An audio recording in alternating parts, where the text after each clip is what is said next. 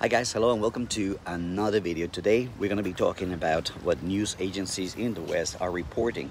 Um, they're reporting the decision by the US government to continue selling weapons to Taiwan. But this time around, they're going to be using the Ukraine budget, uh, the Ukraine scheme. So let's talk about that. I'm going to skip the simple and basic affront to the sovereignty of the People's Republic of China and to the sanctity of internationally agreed and accepted uh, principles like the One China policy or uh, the communiques. We all know that America will make and will continue to change the rules for as long as the world accepts its hegemony.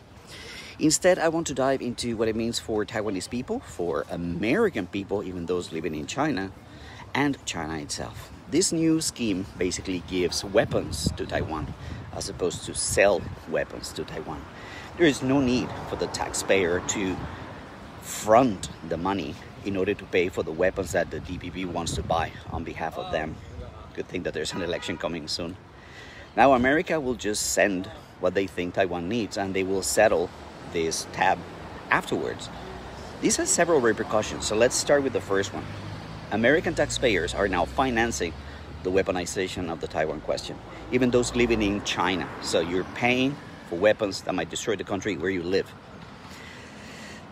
Congress and the Biden administration can now arrange for more money to be funneled to the MIC in order to manufacture and send weapons to Taiwan.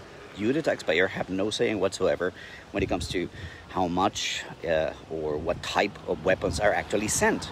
The Ukraine money scheme the, the laundry scheme has actually been duplicated and set in motion in Taiwan.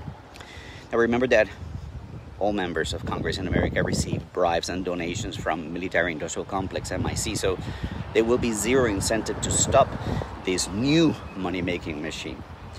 The second repercussion is that, well, the weapons sent to Ukraine, just like the, the ones sent to Taiwan, will need to be repaid at one point. The Ukraine scheme mainly accelerates the delivery of those weapons because the recipient does not need to pay for them up front. That's all it is. It's a, it's a big you owe me blank check that the US writes to these places on behalf of them. A huge problem towards the future because, well, it is easy for the US to, to print US dollars whenever they need and, and get countries to buy their debt.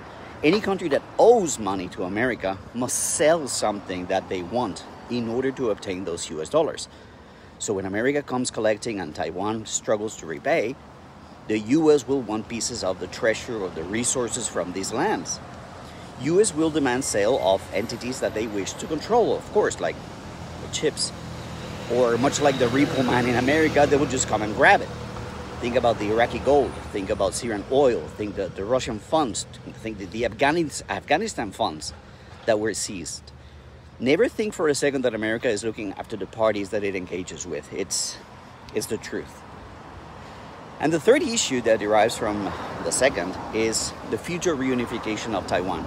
If and when that happens, the hurdle will be that American companies own strategic pieces of Taiwan infrastructure, like the ones that they force them to sell.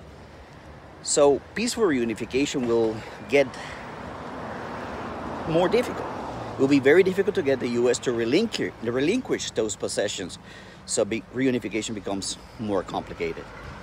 So this is a scheme that was okayed by the stroke of a pen, not really the will of the American people. It's going to affect the region in many more ways that I can list in this short video, but yeah, I just wanted to throw a couple of ideas out there for you guys to think about it.